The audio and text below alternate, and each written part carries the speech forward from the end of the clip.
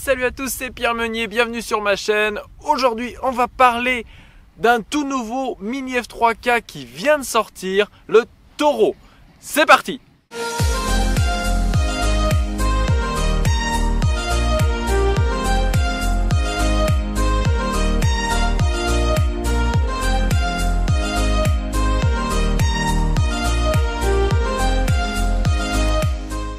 Donc voilà le taureau, ce mini F3K de 1 mètre d'envergure. Donc euh, le taureau est un planeur full carbone. Donc euh, je pense que vous avez déjà tous vu ma pré-revue. Euh, vous aurez le lien dans la description si vous ne l'avez pas déjà vu. Tout est dit niveau spécification de ce planeur. Aujourd'hui on va vraiment se concentrer sur comment je l'ai monté et comment il vole. Donc voilà, vous avez toutes les spécifications si vous avez vu la précédente vidéo. Donc j'ai choisi de mettre un peg standard à la place du peg en T, car vous le savez, si vous regardez mes vidéos depuis un moment, je n'aime pas trop monter les pegs en T. En sensation au lancer, ça va, mais vraiment à monter, j'aime pas ça du tout. Donc voilà, j'ai mis ce peg là. Coup de bol, c'est exactement la même couleur que la peinture de l'aile. Pas fait exprès, mais coup de chance.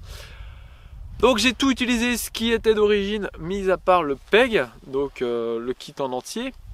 Comme je l'avais dit dans la précédente vidéo, les empennages sont un petit peu lourds, ce qui fait que le planeur arrive un petit peu lourd à la fin. Euh, prêt à voler, il fait 149 grammes, ce qui est un petit peu plus que d'habitude. Mais comme vous allez le voir, ça impacte pas tant que ça le vol, ce qui est plutôt pas mal, sachant que le poids des empennages va baisser. D'ailleurs, je vais avoir une nouvelle paire d'empennages prochainement, donc je pourrais vous dire exactement ce que cela donne. On va regarder tout de suite donc comment c'est monté. Les empennages, rien d'inhabituel, hein. toujours commande ressort fil. Les commandes d'aileron, c'est comme tous les planeurs 4 dans le nez aujourd'hui, donc 4 cerveaux dans le nez. Euh, voilà, commande qui sort sur le côté du fuselage avec tringlerie standard. Ensuite, voilà l'agencement intérieur, donc 4 cerveaux Bluebird BMS 101 euh, donc alimenter le tout par une Tattoo 1S 350 mAh et un D4R2 comme récepteur pour FR Sky. Euh, les BMS 101, je les trouve moins précis que les D Demon D47, euh, mais plus rapide, plus vif, avec un peu plus de débattement. Donc voilà, c'est à vous de voir ce que vous préférez. moi, ça me va, mais c'est vraiment la limite. Hein faudrait pas moins précis. Euh, donc voilà, le planeur en lui-même est bien conçu, il tient mes lancers full patate. Donc du coup, euh, bah, ce qu'on va faire, on va directement passer au vol. C'est parti. Ok, bon on est sur le champ, je viens de faire le lancer de trim. Donc je me mets un peu au milieu pour euh, éviter de risquer quoi que ce soit avec la haie et de pas avoir de remous même s'il y a un léger vent. Enfin il n'y en a pas beaucoup quand même. Donc voilà, donc n'oubliez pas que les 1 mètre ne sont pas tellement des planeurs de compète, mais plus des planeurs pour le fun. Aujourd'hui, on va checker surtout ça, euh, à quel point ce planeur est fun, et bien sûr, à quel point il est performant, mais le plus important dans les 1 mètre, c'est le fun. Donc c'est parti. Donc, comme vous pouvez le voir, ça monte plutôt pas mal au lancer. Là, je suis aux environs de 50 mètres. Bon, euh, quand j'ai une caméra sur la tête, je dois avouer que je lance quand même beaucoup moins fort que quand je peux lancer euh, full patate, comme j'aime le dire. Euh, ce petit planeur, on a subi plusieurs de lancer full patate, donc plein, plein, pleine puissance si vous voulez dire comme ça. Je peux vous dire que ça tient sans souci. il tient bien l'air. Avec ces petits saumons très fins, donc les saumons c'est les boudelles, euh, comme vous pouvez le voir, ils sont plutôt pointus. C'est très vif aux ailerons, c'est plutôt sympa. Euh, tout est plutôt réactif. Euh, vu qu'il n'y a pas encore de notice pour ce planeur, sachez que je vais vous donner un petit peu mes réglages. Donc, le CG que je vous recommande est entre 56 et 58 mm depuis le bord d'attaque, à l'emplanture bien sûr, donc au centre de l'aile. plus arrière, je le trouve quand même bien vicieux, et plus avant, je trouve vraiment pâteau. Donc voilà, c'est environ la plage que je peux vous conseiller. Donc comme vous le voyez, il monte plutôt pas mal. Euh, donc voilà, là je cale un petit peu de flap. Vous allez pouvoir voir tout de suite euh, que son poids l'handicape pas particulièrement. On voit qu'il vole assez vite. Mais là, voilà, il y a un beau thermique. on va pouvoir le choper. Si j'y arrive. donc voilà, il voilà, il n'y a rien de. Il n'y a pas de point négatif particulier. Ça vole bien, c'est bien fun. Donc euh, le, point principal d'un mètre sur euh, qu'est-ce qui fait qu'effectivement on va le vouloir ou pas. Alors numéro 1 c'est son design bien sûr parce que sachez que la performance d'un mètre 50 ne sera jamais atteinte avec un mètre tout simplement dû à sa taille. Hein. On peut pas, peut pas atteindre les mêmes performances. Euh, donc voilà, donc ne cherchez pas forcément le truc euh, qui va voler comme un 1m50, ça n'existe pas, en tout cas pas aujourd'hui. Euh, donc voilà, le, fun, le facteur fun pour ces petits, ces petits 1 mètre, c'est surtout ça qu'on va regarder. La durabilité, donc est-ce que c'est bien solide, est-ce que ça va tenir dans le temps?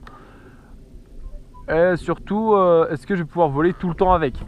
Donc en fait, ceux qui se disent que le fait qu'ils soient un peu plus lourds, c'est un inconvénient. Sur les 1 mètre, vu que la plupart ne sont pas ballastables, en tout cas pas facilement du tout, euh, le jour où il y a un peu de vent, avec un mètre, on se fait vraiment vraiment balader parce que c'est en général trop light.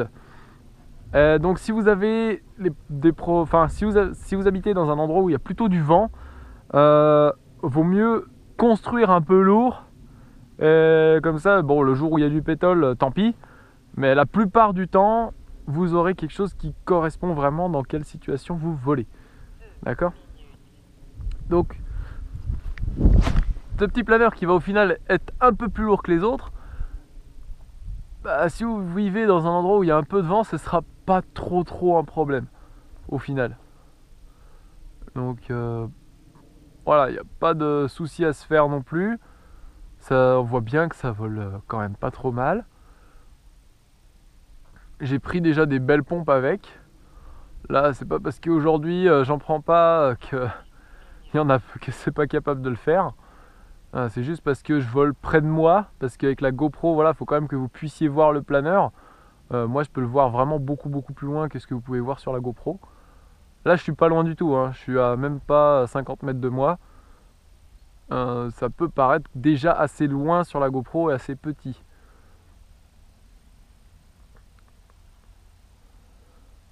Donc voilà, on voit que le planeur vole bien.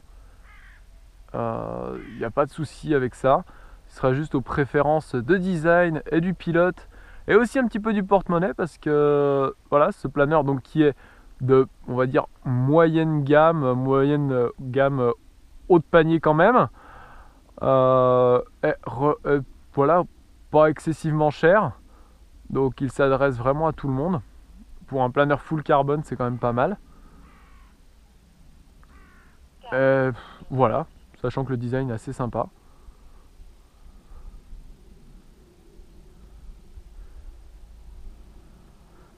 Hop. Donc je vais faire un lancer et faire un petit peu des tours autour de moi parce que je sais que c'est assez joli à voir euh, sur YouTube, sur internet.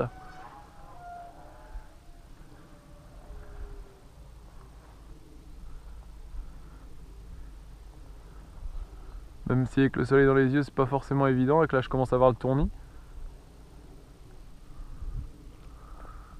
Ouais, là je commence à voir la gerbe, sérieux. sais pas comment je vais faire après, mais bon, je tiens encore debout, c'est l'essentiel. Alors voilà. Bon, alors qu'est-ce que je peux dire de ce petit taureau? Après mon expérience avec, eh bien, c'est un bon petit planeur. Euh, ça apporte voilà, un nouveau design intéressant, euh, la capacité de voler dans plus de vent a priori qu'un mètre standard parce qu'il va être un petit peu plus lourd.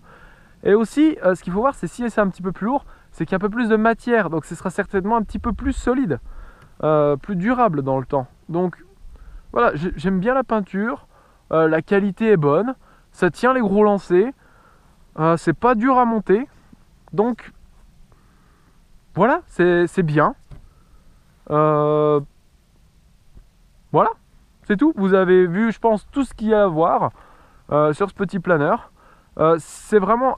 Donc la classe 1 mètre, c'est vraiment le truc, euh, le planeur qu'on va, va, emmener partout. Que si on va en vacances voilà, ou en week-end, euh, dans un endroit où on peut trouver un champ comme ça, ou une petite colline, etc. pour faire un petit peu de vol de pente, machin. Ça peut être super sympa. Donc voilà, ça, c'est un bon planeur pour faire ça. C'est un bon planeur pour s'amuser. euh, si on a une demi-heure, machin, c'est- parfait. Donc voilà, il faut pas oublier, les planeurs de 1 mètre, c'est pas non plus des planeurs de compète purs. Donc c'est par contre le facteur fun est vraiment là.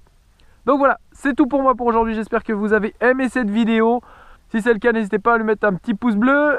Et si vous n'êtes pas déjà, vous pouvez vous abonner juste en bas. Voilà, c'est tout pour moi pour aujourd'hui. À la prochaine. Ciao